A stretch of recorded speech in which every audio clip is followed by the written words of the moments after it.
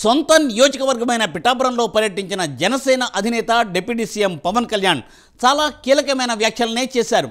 సభ ఏదైనా సమావేశం ఏదైనా ఆయన మాట్లాడడం ప్రారంభించితే అన్ని అంశాలపై కూలంకషంగా మాట్లాడతారు పవన్. పిఠాపురంలో ఆయన పలు అభివృద్ధి సంక్షేమ కార్యక్రమాలను ప్రారంభించారు. కానీ ఆ తర్వాత సభా వేదికగా పవన్ కళ్యాణ్ తన విశ్వరూపాన్ని చూపించారు. కూటమి నేతలతో పాటు ప్రతిపక్ష నేతలకు కూడా చురకలంటించిన ఆయన గాడి తప్పిన వ్యవస్థలను ట్రాక్లో పెట్టాలన్న పట్టుదలతో ఉన్నట్లు స్పష్టమవుతోంది.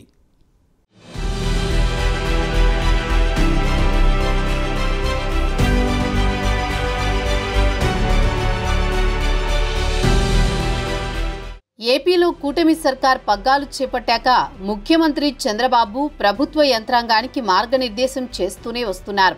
వైసీపీ హయాంలో గాడి తప్పిన యంత్రాంగాన్ని పద్ధతి మార్చుకోవాలని లేకపోతే పరిస్థితులు తీవ్రంగా ఉంటాయని హెచ్చరికలు జారీ చేస్తున్నారు. ఆ క్రమంలో పలువురు కీలక అధికారులపై చర్యలు కూడా తీసుకున్నారు. అయినా కొందరు సిబ్బంది వైఖరిలో పూర్వపు వాసనలు పోవడం లేదన్న అభిప్రాయం వ్యక్తమవుతోంది. ఆ క్రమంలో తాజాగా పిఠాపురంలో పర్యటించిన జనసేనాని డిప్యూటీ సీఎం పవన్ కళ్యాణ్ పలు అభివృద్ధి సంక్షేమ కార్యక్రమాలు ప్రారంభించి ఆ తర్వాత సభా వేదికగా పవన్ విశ్వరూపం చూపించారు. అధికారులు ప్రతిపక్ష నేతలతో పాటు కూటమి నేతలకు కూడా గబ్బర్ సింగ్ తరహాలో మాస్ వార్నింగ్ ఇచ్చారు.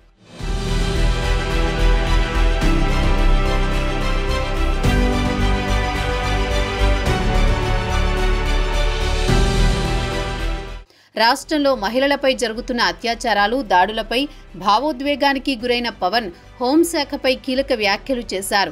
అలాగే పోలీసులను ఉద్దేశించి కామెంట్ చేశారు. నేరస్తులను కులంతో సంబంధం లేకుండా శిక్షించాలని గతంలో మాదిరిగా అలసత్వంతో వ్యవహరించవద్దని అన్నారు. ఘటనలపై హోంమంత్రి వంగలపూడి అనిత కూడా బాధ్యత తీసుకోవాలన్న పవన్ కళ్యాణ్ హోంశాఖపై రివ్యూ చేయాలని అన్నారు. పరిస్థితులు దిగజారితే తాను హోంమంత్రి అయితే పరిస్థితులు వేరేగా ఉంటాయని హెచ్చరించారు. హోమ్ మినిస్టర్ అనిత గారు కూడా చెప్తా ఉన్నాను. మీరు మంత్రి మీరు హోమ్ మినిస్టర్ మీరు. నేను పంచాయతీరాజ్ శాఖ మంత్రినే నేను. అటవీ శాఖ మంత్రిని పర్యావరణ శాఖ మంత్రిని. హోం మంత్రి శాఖ మీరు బడ్జెట్ బాధ్యత వహించండి. నేను హోంశాఖ తీసుకుంటే పరిస్థితులు వేరుగా ఉంటాయి గుర్తుపెట్టుకోండి.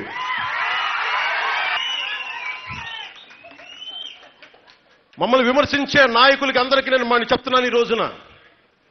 ఇలాగే మీరు తీసుకో తీసుకొస్తా ఉండండి. మీరు నిశ్చలంగా ఉండండి. ఏమి చేయకుండా హోం బాధ్యతలు కూడా తీసుకోవాల్సి వస్తుంది గుర్తుపెట్టుకోండి. రేపు చేస్తామంటే భావ ప్రకటన స్వేచ్ఛ అంటది. అది వీళ్ళు మాట్లాడేది. ఇలాంటి మాట్లాడుతున్నప్పుడు నాయకులకి మూడేళ్ళ పసికందులను రేపులు చేయరా? ఇలాంటి నీచులను ఎంకరేజ్ చేస్తే మూడు మూడు సంవత్సరాల పసికందులు రేపులు చేయరా?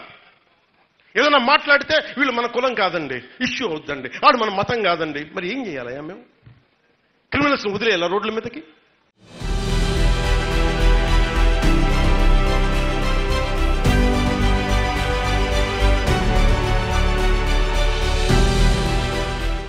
అలాగే కూటమి పార్టీలోని నేతల తీరుపై పవన్ అసహనం వ్యక్తం చేశారు. కూటమిని ఎవరూ విచ్ఛిన్నం చేయలేరని కొందరు ఎవరికి వారు సొంత పెత్తనం చేసుకుని గేమ్స్ ఆడితే తమకేమీ కాదన్నారు. తాము చంద్రబాబు క్లారిటీతో ఉన్నామన్న పవన్ కళ్యాణ్ ఈ పొత్తు స్థిరమైందని కొంతమంది వ్యక్తులు చేసే ప్రయత్నాలు తమ పొత్తును దెబ్బతీయలేవని వ్యాఖ్యానించారు. రాష్ట్రంలో ఇసుక అంశంపై సీఎం చంద్రబాబు ఫుల్ క్లారిటీగా ఉన్నారని పేర్కొన్నారు. అలాగా మనం వారసత్వంగా అప్పులు ఎలా వారసత్వంగా వచ్చిందో వీళ్ళు చేసిన క్రైమ్ కూడా వారసత్వంగా వచ్చింది. వీళ్ళు చేసిన అలసత్వం కూడా మనకు వారసత్వంగా వచ్చింది. గత మూడు నెలల నుంచి డే వన్ నుంచి నేను అధికారంలోకి వచ్చినప్పటి నుంచి ఒకటే చెప్పాను. అసెంబ్లీలో కూడా మీరు చూశారు. లా అండ్ ఆర్డర్ బలంగా పెట్టండి అధికారులకు చెప్తా ఉంటే అధికారులకు అలవాటు పోయింది. ఇదివరకేమో అసలు మొత్తం కంట్రోల్ లేకుండా చేసేశారు అధికారుల పోలీసు ఉన్నతాధికారులందరూ. ఈ రోజున ధర్మబద్ధంగా చెయ్యండి చెయ్యండి అంటే ఆలోచిస్తున్నారు మీనమేషాలు లెక్క పెడుతున్నారు. దేనికి మీనమేషాలు లెక్క పెడుతున్నారు అర్థం కావట్లేదు క్రిమినల్కి కులం ఉండదు క్రిమినల్కి మతం ఉండదు. ఎన్నిసార్లు చెప్పాలి పోలీస్ అధికారులకి? వీడిని అరెస్ట్ చేయాలంటే వాడు కులం సమస్య వస్తుంది. కులం ఎందుకు సమస్య వస్తుంది? ఒక మూడేళ్ళ ఆడబిడ్డని రేప్ చేసి చంపేస్తే కులాన్ని వెనకేసుకొస్తారా మీరు? ఏం మాట్లాడుతున్నారు మీరు?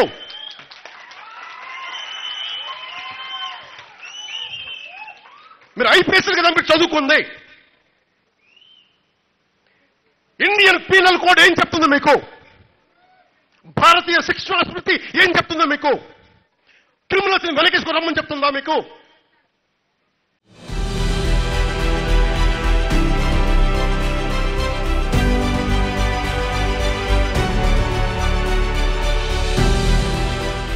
కొంతమంది సీఎం చెప్పినా మాట వినడం లేదని పవన్ ఆవేదన వ్యక్తం చేశారు. ఇసుక అక్రమాలకు పాల్పడితే కేసులు పెట్టమని ఆదేశాలు జారీ చేసిన అంశాన్ని పవన్ ప్రస్తావించారు. సొంత అవసరాలకు ఇసుక తెచ్చుకోవచ్చన్న పవన్ కొంతమందికి వద్దని చెప్పినా తినడం అలవాటు అయ్యిందని వ్యాఖ్యానించారు. ఈ విషయంలో ప్రజలు కూడా చైతన్యంగా ఉండాలన్నారు. గత ప్రభుత్వంలో జరిగిన తప్పులు పునరావృతం కాకుండా ప్రయత్నాలు చేస్తున్నామన్నారు. ఓవరాల్గా పిఠాపురం వేదికగా పవన్ కూటమి సర్కార్ స్టాండ్పై క్లారిటీ ఇచ్చారు. ముందు నుంచి చంద్రబాబు హెచ్చరిస్తున్న విధంగానే డిప్యూటీ సీఎం కూడా ఇష్టానుసారం వ్యవహరిస్తున్న యంత్రాంగాన్ని వారిని కంట్రోల్ చేయలేకపోతున్న నేతలకు వార్నింగ్ ఇచ్చారు. మరి పవన్ వ్యాఖ్యలతో అధికారుల్లో నేతల్లో మార్పు వస్తుందో లేదో చూడాలి.